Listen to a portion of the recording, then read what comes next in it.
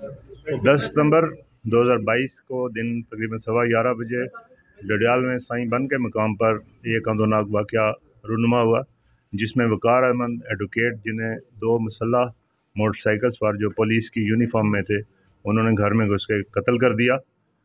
ये एक ब्लाइंड और मुश्किल तरीन केस था जिसे हमने तीन दिन के अंदर ट्रेस किया और वाक़ में मुलवस तीन मलजमान हमने इस वक्त तक गिरफ़्तार कर लिए उनके कब्ज़े से दो पिस्टल जो वकू में इस्तेमाल हुए, एक मोटर बाइक एक कार और पुलिस की यूनिफॉर्म बरामद कर ली हैं।